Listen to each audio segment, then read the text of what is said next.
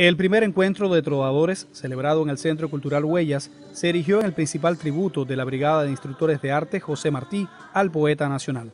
En el encuentro, seis representantes del movimiento trovadoresco tunero defendieron sus creaciones y retomaron al mismo tiempo obras clásicas de la canción protesta. Que sean jóvenes instructores, creo que es excelente que, estemos reuniéndonos para intercambiar, porque creo que el legado se va a, transmitir de generación en generación, no solamente para nosotros que, somos profesores, que vamos a hacer docencia, sino para esos niños pequeños que reciben talleres de creación, de apreciación acerca de la música cubana. La iniciativa forma parte del programa de que la brigada desarrolla para celebrar sus 15 años de labor ininterrumpida promoviendo los valores de la cultura nacional.